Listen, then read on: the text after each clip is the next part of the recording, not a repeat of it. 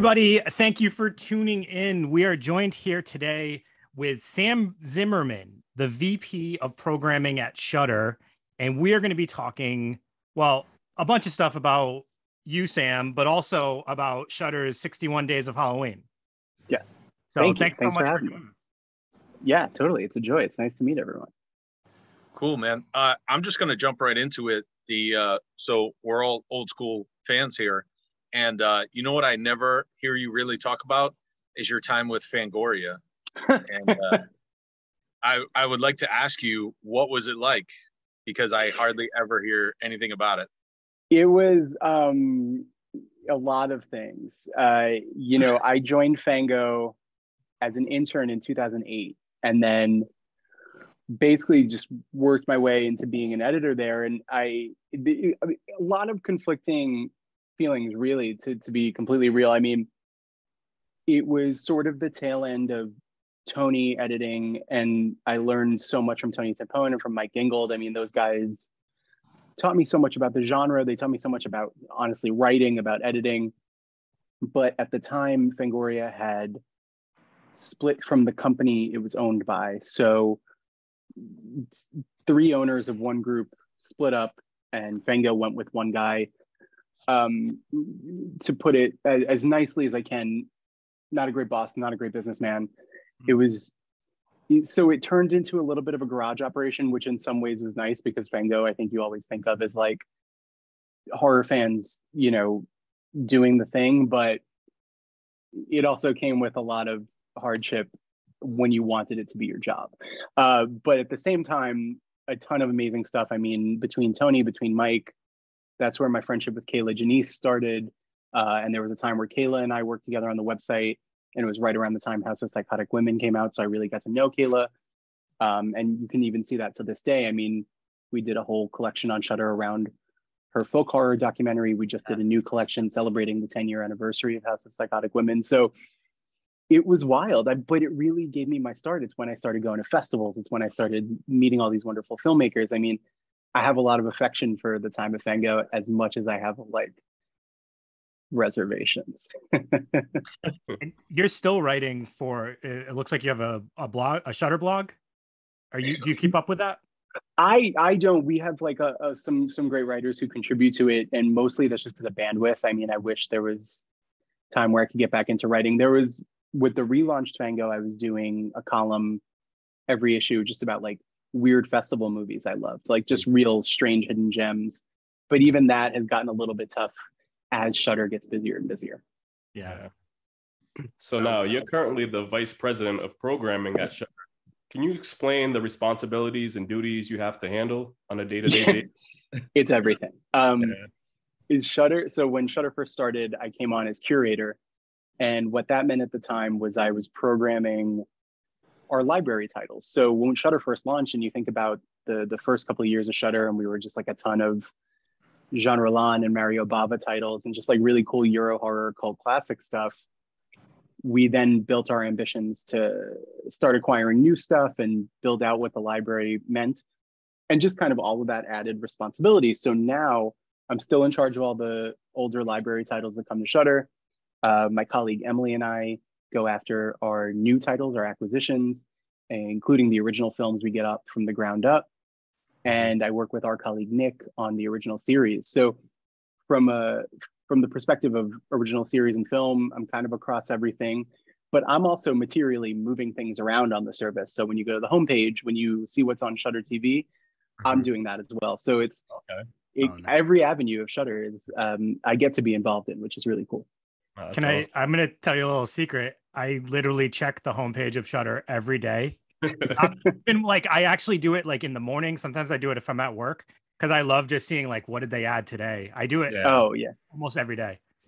that's really. I mean, the the secret is really Mondays and Thursdays, right? Like Mondays is when kind of new library stuff comes in, and then Thursdays and Fridays are like the big uh, new films, new series, that kind of stuff. Okay. I like to think it's every day. So you just crush my I'm like, oh, it's Christmas. I'm not trying to Um, burst your bubble. so uh, I, Brandon and I, at least, uh, we've been with Shudder since maybe not day one, but definitely day two. Uh, I think I, I remember hearing about it and then eventually was like, all right, well, let's check this out. Mm-hmm. And I mm-hmm. remember the very early days, the uh, streaming options, it was like such a cool premise and I was really excited about it. The streaming options were somewhat limited. Mm-hmm. And now current day it's like the go-to service. It's like you guys just keep it fresh. It's things are rotating in and out. There's the staples there but there's always these cool like films that i never heard of and the shudder exclusives are obviously amazing. Um, can you talk about like that progression of shudder? Absolutely and and that's really kind. I mean to hear you say that is is kind of what we want the ambition of what we want the service to be. So it's nice that that comes across and it's nice that you feel that way because the conversations that we have are very much in service of okay well if, if you're a big horror fan and you get it that's the dream. If you're impressed by it that's the dream. And if you're not then there's i mean there's always more work to do but then if you're not there's even more work to do. But yeah. the progression uh, really started in 2016 shudder launched in the summer of 2015 hmm. and in around 2016 was when we started having conversations of well, we should be picking up new movies, doing our own releases, and what would those strategy look like?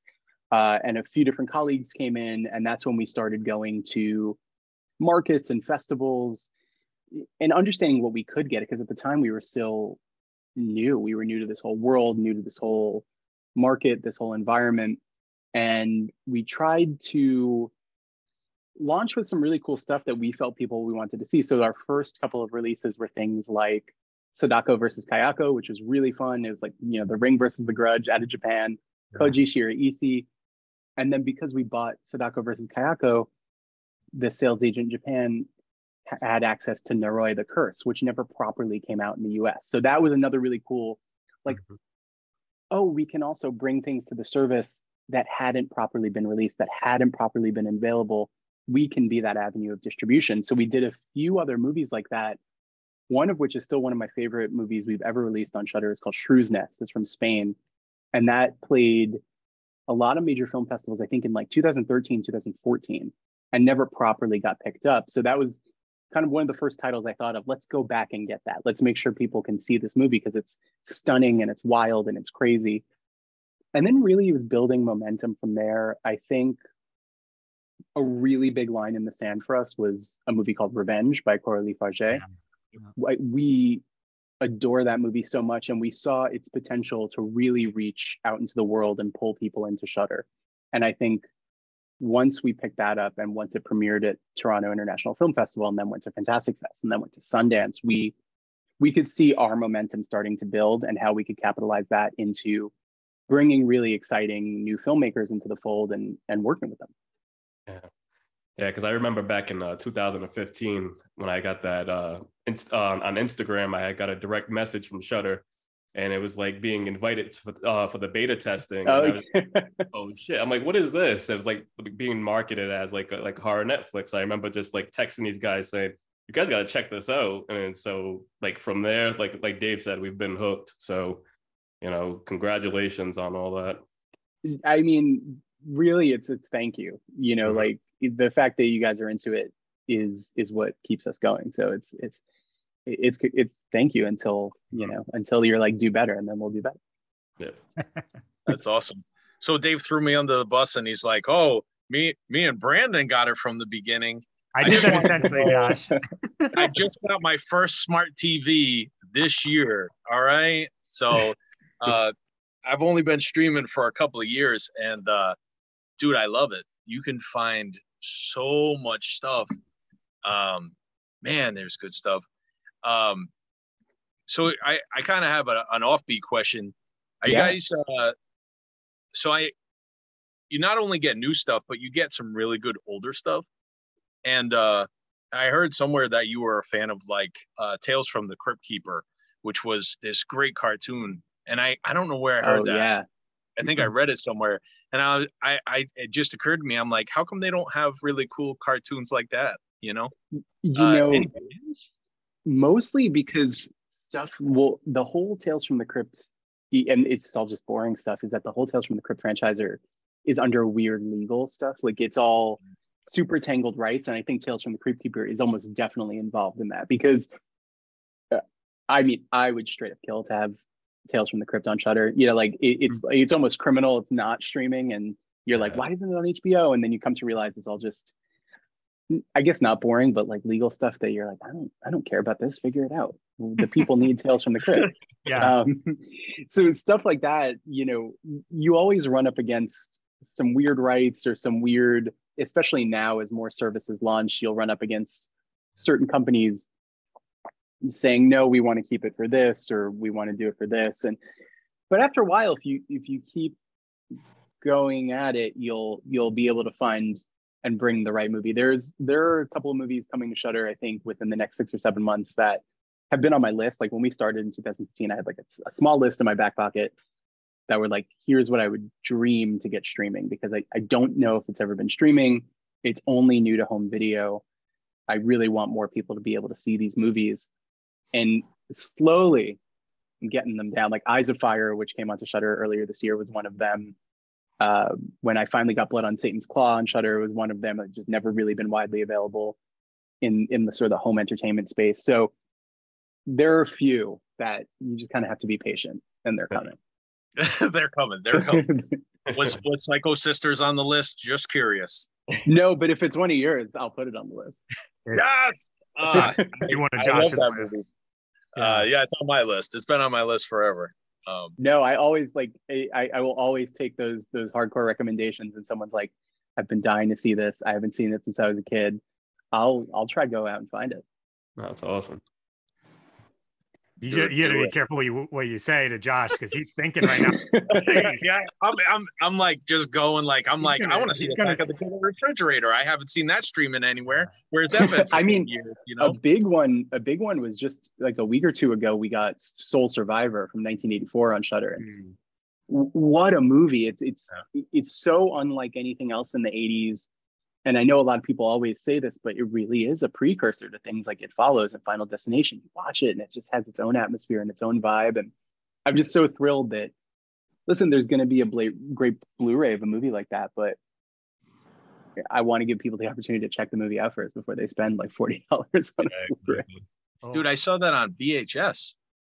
I got it from Uptown Video, right? Well, it's not there anymore, obviously, but down video. Um, shout out to Uptown Video, closed for 30 years. you you know you also uh Shudder added uh friends of ours Death Drop Gorgeous they dra- added that Of movie course. in a few months Yeah. ago and we were like we are like you guys made it like, you're right, you guys made it We are Yeah. so excited for them that's that's I been- love that movie. Um, when that movie started playing festivals, I got in touch with the team and just wanted to know kind of everything about what they were doing and how they put it together. And from the get, I was like, we have to bring this to Shudder. We have to figure this out, and and we did. It was great. I'm so glad it's on Shudder. I think everyone should go watch Death Drop they're Gorgeous and just see what like cool regional horror filmmaking today looks like. Because I think there's a lot of writing devoted to what the 60s and 70s looked like and what like real independence outside of the major Hollywood system looked like. But it's happening again now, and it's happening mm-hmm. with the Death Drop Gorgeous team and the Adams family who made Hellbender, which we released earlier this year. They're just like in upstate New York doing their own thing. There's a guy named Bruce Wemple who I'm really into. He made Monstrous and The Retreat. He's, Yeah. I think he's in New Hampshire. I, I might be, but again, it's just like, and Jordan Graham who made Sator, just like Yeah. off on their own, making really wild stuff out of the sphere of influence. It's so cool. yeah absolutely and i mean you guys are also putting on this amazing uh october month celebration the 61 days of halloween and there are so many like good things releasing this month like you know italian horror movie lovers are going to you know be thrilled you guys have a bunch of fulci and argento films on there but you also have mm-hmm. argento's dark glasses which actually i think was Yes. released today you got yes, the Ful- fulci documentary later this month which is and then- great. and Yeah. then there's a ton of like originals and Shudder exclusives coming up. So, you know, we're very excited. I was curious if you, you know, not that you want to play favorites, but are there any of the films that are releasing this month that you're like, I am so excited for people to see? Um, I'm gonna give you the annoying answer, which is all of them. I Yeah. mainly because that's why they're in October. Um, Yeah. you, when we saw Deadstream at South by, um, and I, I've told this to Joseph Vanessa, who who wrote and directed it, um, who I adore. They're so talented.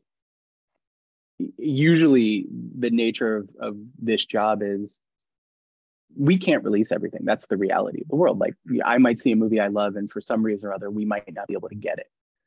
And usually, I'm very even keeled about that. And when I saw Deadstream, I was like, so I'm gonna be so mad. I'm gonna be so mad if we can't release this movie. It's so good. It's so wonderful. It's so like when I when I saw it, I knew that on the first Friday of October, there was no other movie I wanted to watch and I wanted other people to watch than Deadstream. It's such a fun time. It's so scary and so funny at the same time.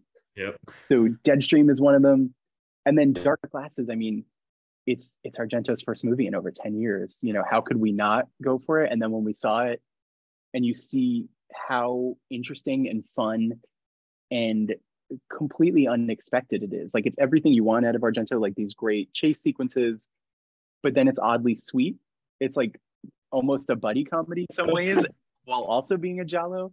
So that was a thrill to be able to release. Um, and then VHS 99, which the, yeah. the whole company really poured ourselves into, you know, mm-hmm. we 94 did so well for us and we really had this great opportunity to put together a great roster of filmmakers and we got Joseph and Vanessa right from Deadstream onto VHS 99. And five years ago, we released Flying Lotus's first film, Kuso. And I mm-hmm. love that movie and I love Flylo. And him and I have always tried to figure out what else we can do together. So it was really important to me. I was like, I, I think he would have an idea for this. And yeah. he came and blew us all away. I mean, when everyone sees Flylo's segment for VHS 99, it's deranged. I mean, yeah. he's pulling he's pulling from Legends of the Hidden Temple. He's pulling from like all this kind of crazy stuff. And and created something unlike mm-hmm. anything else you've seen in the series. Um, Maggie Maggie Levin made this like in, insane Riot Girl segment. Johannes Roberts made this like purely scary one. Tyler MacIntyre feels like a riff on American Pie. Like it, it, they just really knocked it out of the park for what the point of the film was.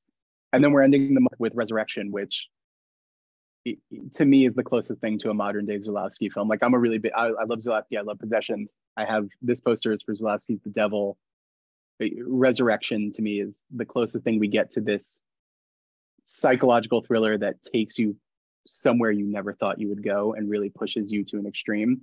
So we're closing the month out, and Rebecca Hall to me is like the best I, I love Rebecca actor Hall. alive. So yeah, yep, that's awesome. Yeah, so I was I was able to check out VHS '99, and oh man, it's it's a great film, and so that releases on uh, October 20th. Yes. And you know, I I think fans of the series would definitely enjoy it. And I also seen on your uh, Twitter that uh it was um, announced the other day that at New York Comic Con that uh, VHS 85 will release in 2023. Like yes. I love that franchise. It's become um I love that it became like a Shudder original because the first film that released back in like 2012 it changed the game for anthology films. How were you guys able to acquire such a project to kind of like open a door for upcoming directors? It was it was really the studio behind it, uh, Studio 71, um, and and the producers came to us and said, you know, we're putting together this new one.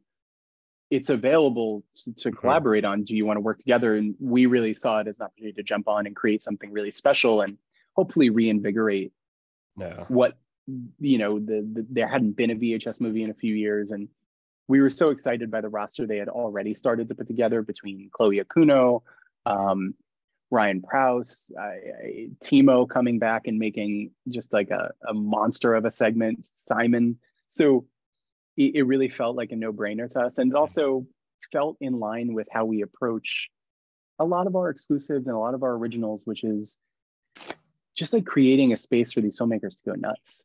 Mm-hmm. Like we always, we always want to feel like we're in support of, of creative ambition. We're in support of showing our audience something they haven't seen before, taking them to a new place, pushing them a little bit, making them laugh. I, I think VHS felt like the right anthology for us. Yeah. It felt like here's a place for filmmakers to really plunge their own kind of psyches and minds and play with form and just have a, like a killer killer time. Yeah. And there's another series that I'm enjoying. It's uh the 101 scariest horror movie moments of all time. So, yes. uh, can you share some of your favorite horror moments of all time? Yes, I will. One of them is in so the new episode uh, that came out this week talks about Lake Mungo. Yeah, and that was one of the films I was like adamant had to be on this series. Yeah. Because Lake Mungo, I mean, even though it came out, I don't know what, like 14 years ago now, it's the last movie that I remember watching at home and feeling like I needed to turn all the lights on immediately. There's just so something so dreadful, Yep. especially about when you see what's on her cell phone Yeah. and that's and and I rewatching the series, you know, I shot my interview for the series back in the spring, and that's when we did production on the series.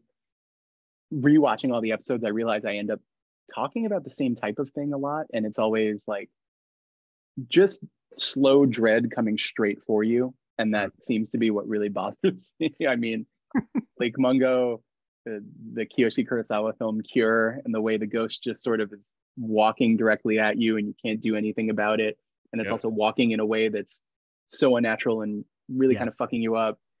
Um, those moments really get me. Uh, another moment I was really adamant about putting in the series was, uh, I mean, the whole movie in general, but the French movie Inside, I think is Yes. Yes. Yep. like my favorite horror movie of the 2000s. Yeah. Um, I just wanted to quickly say, so you mentioned Lake Mungo, and I these guys have already heard me say this before, but that was back when they did those eight films to die for. Yeah, Uh, and I used to like look forward to that every year. I would want to watch all of them. They would do a screening at our local movie theater and show a bunch of them.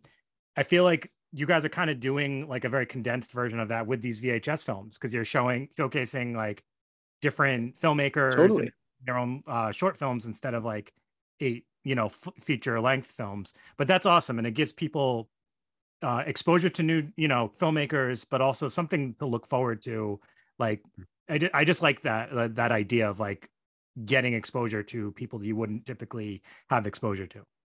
and and folks who just have you know wild ideas that this is the avenue you know i don't i can't really say too much about vhs 85 because it's not it's coming out next year but when you see what these filmmakers are up to you're going to be like hmm they've they've gone down some roads. It's very cool. That's amazing. The uh you ever just sit back and take a breath like so sometimes I like I just sit back and I'm like we're we get screeners, people send us their their movies they made in their basement uh or whatever and I'm like dude how cool is it that I get to watch all these like cool horror movies. You ever just sit back and be like damn like I work at Shudder. My job is to watch really awesome horror movies on the daily and just be like wow every day every I- day. I- every day you have to you just have to be like i i mean i've loved horror since i, I like i grew up i grew up in the bronx Okay. and i don't know i don't know why i think this is specific to being growing up in new york but maybe it is maybe it isn't but like we had that little box that goes on top of the cable box Mhm. they got you free hbo and when I was like seven, I would just watch Castle Freak and Tales from the Hood Yeah. over and over and over. I've loved this genre since then, and the fact that it's legitimately a career is unreal to me. Uh, like I truly every day I'm just like, thank you, thank you to the world, thank you to the universe, hail Satan. That's amazing. How many films do you get to watch every day? Every day, I I think of it as like averages because I'm I'm rarely watching something every day, but then there are days where I have to watch like you know four or five things. So I would I would imagine by the end of the year there's some weird average of like two to three things a day if you count it out or divvy it up or That's so insane. Like yeah. you're the luckiest guy around. the uh so I I I kind of have this really weird question. Um I like really odd stuff. And Shudder has a, a pretty good selection of odd stuff, I'm not going to lie. But I also like um so I'm a big Bollywood fan. Mhm. I love Indian um, horror movies. A lot of it is uh, supernatural and ghost orientated. Uh, any plans of getting anything like that, uh, like either on Shudder or around Shudder, or even going into that market? Because you're you're I would- basically in English speaking markets now. I would like to. Um, I, in terms of bringing more Indian horror to Shudder, I I doubt we would expand to a market like India, but I think if I can find the right companies and rights holders, especially to bring some of the older stuff to Shudder and really yeah. get it out there and available, I would be thrilled to. Um, it, it's definitely on the to-do list of what hasn't been widely available, what isn't widely available, what international horror cinema in some perspectives is underexposed. I know elsewhere, I'm sure people watch it all the time, but at least feels like to me in the US, there isn't a lot of ways to find cool horror from India. Um, I would be thrilled to. Uh, newer stuff, there's a lot of modes of distribution with newer Indian cinema that is hard to crack into. You know, it, it's why we haven't had a chance to, to bring a lot of new school Indian cinema. Um, Kriya, which is on Shudder now, is the first film from India we've been able to bring to Shudder. it's really cool. Oh, I didn't even know that's on there. I want to write that down. Kriya well, got yeah, we got it recorded. The um, dude, that's awesome. And and they went through such a renaissance and like of horror in the like years and years ago, and no one knows about it because like, you know, it's it's India. You know, you just think, oh, there, that's India, but they had some really powerful stuff. Uh, so I'm glad it's on the list. Exploring, you know, like we've been really fortunate to to work in a ton of international horror. I mean, and it, as much as we can expand to, I'm thrilled to. Any any other markets on the list that you can share? Well, I think we're going to absolutely continue our relationship and bringing a lot of really cool Indonesian horror to Shudder. I mean, yeah. we have Satan Slaves 2 coming in November. Working with Joko is amazing. He to me is one of the best working horror filmmakers today and releasing Satan Slaves. He wrote The Queen of Black Magic. Um, he we released Impetigore. We worked with Timo on May the Devil Take You Too and the VHS films. I mean, there's something really special happening in Indonesia, and for as much as they'll have us continuing to release really great Indonesian horror onto the world, or at least into North America, we will absolutely continue doing so. That's awesome. Uh, we we stumbled upon uh, what is it? Argentina, Argentina horror. Incre- I mean, uh, Damien, who made Terrified, uh, what a great movie. We are. Oh yeah, Terrified. Yep, that was yep. that was good. I forgot about that. I love that movie. Talk about like a up and coming market. You know what I mean? Like, damn. Uh, I so kudos to you guys for getting the stuff, man. It's like a dream job. Thank you. To just, you, I I would love to just reach out to people all day, be like, "Oh, can you send me some films?" it's yeah. got to be awesome, man. So. There's a really there's a really cool movie. I, I should bring it back to Shudder, but there's a really cool movie from Argentina from I don't know, maybe like eight years ago called She Wolf. That's in black and white, and it it reminded me a lot of um, movies like Habit or The Addiction. Mm. Um, just these real like very city based punk rock, lo-fi sort of shape shifting psychological breakdown horror. It's really really cool. Yeah. Yeah. I, w- I forget where I just saw I just saw something about that film oh, recently. Cool. It was in like a magazine or something. I don't even know what I was reading, but yeah, it sounded super interesting. It is. It's a, it's a rad that. movie. So Sam, I know that we are crunched on time, but I just wanted to say, um, you know, thank you for everything that you and Shudder have been able to bring to the horror community. Like this month, the you know the projects that you guys are showcasing for the 61 Days of Halloween, I think it's amazing. Like there's some super exciting things on there. But just in general, I know we've been like huge fans of you know the different um genres and subgenres that you guys have identified and what you've also brought just to like the community, like the focus on queer horror, um, you know, the black horror, uh, the French New Wave stuff. Like you guys just bring like a focus on so many imp- like important subgenres, um, and I just I think it's great, and I know we love it. So thank you so much for that. No, I really like thank thank you. I mean, the fact that it comes through, the fact that you have those very kind things to say, hopefully mean we're doing a good job. There's always more to do. and like more really cool stuff to do. I mean, even it's funny to be talking about 61 days of Halloween because my mind suddenly goes to like oh, November and December are going to be just as yeah. bad. Like, yeah. we've got Satan Slaves too. We've got Mandrake. Um, yeah. Yeah. We've got a vampire. Uh, we've got a father daughter vampire road comedy coming called Blood Relatives. It's like Paper Moon. It's called. It's like Paper Moon with fangs. It's oh, beautiful. Oh, um, a Wounded Fawn is coming in December. Christmas Bloody Christmas. Like, it, it's it, it, it's we're in the prime time, but we're we're not done. We're not done past October 31st, which is kind of our our reason for being. And we didn't even mention Joe Bob as like that's yeah. like such a huge like a huge uh Shudder staple. Of course.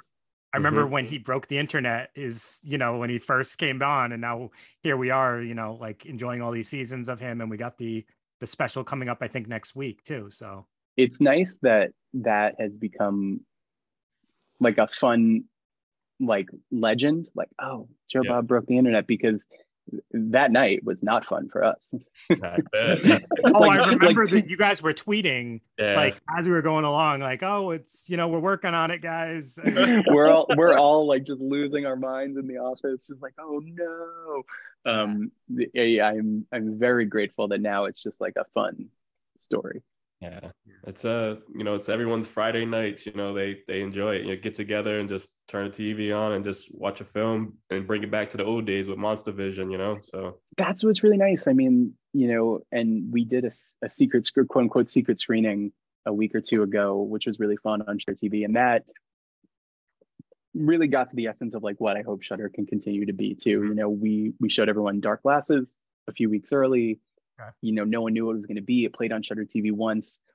Mm-hmm. If, if we can continue bridging that gap of yes, we're a streaming service, but we're very hand handmade and curated and trying to create a communal experience and how fun that can be, then we'll hopefully we'll continue on the right track. Yeah. yeah. You guys also do live stuff. So like it's not just like streaming, it's like you're you're live too, right? Like yeah. We'll I, and and hopefully we'll we'll build even more. You know, I, I have so many ideas. Yeah. and also, what was it? The Chainsaw Awards. You guys have so much going on, so it's just like well, that and that's really the team of Fango. I mean, like, yeah. I'm, I'm, very grateful they they thought we'd be a good partner for that, and mm-hmm.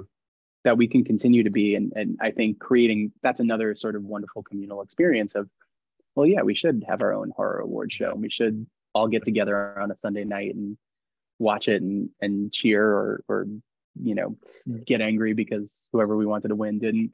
Um, it, it's really fun, it, and it's fun that we get to create that together. Yeah, dude, so that's now, awesome. If you guys are listening, you don't have Shudder. What are you waiting for? get that subscription.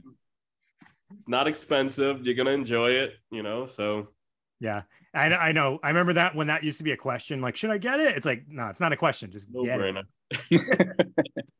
Sam. Yeah, I'm gonna say it's, it's probably the best horror streaming site out there. So mm-hmm. good kudos to you, man. There's there's nothing like it.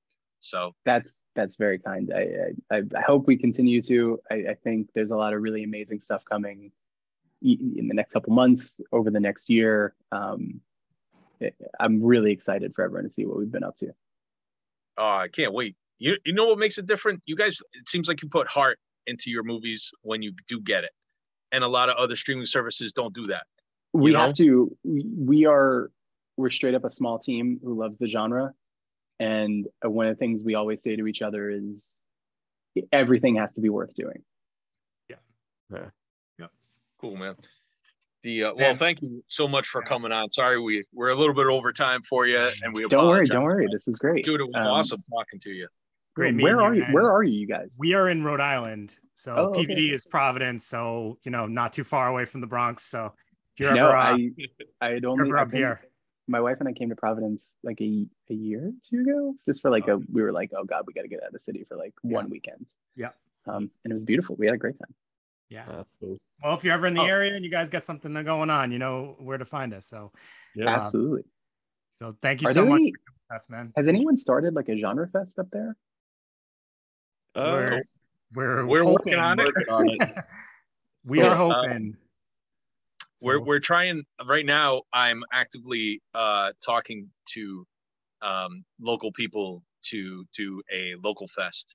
Like we have the Rhode Island International Film Fest. There's yeah the Screen Fest. There's the Vortex Film Festival. Like yeah. there's a lot of film fest here, and some of them like Vortex, we're we're we're partnering with them uh, they they do horror and sci-fi, yeah. but uh, we we are real local guys, and we're like actively trying to get a big local thing going with uh, Mass, Connecticut, and Rhode Island, and just trying to bring all the filmmakers together and really push push it out. But that's cool. Keep keep me updated on on how that comes together, and I'm sure we can get some Shudder stuff up there and and Oh, you know help Cool, in any man. way we can.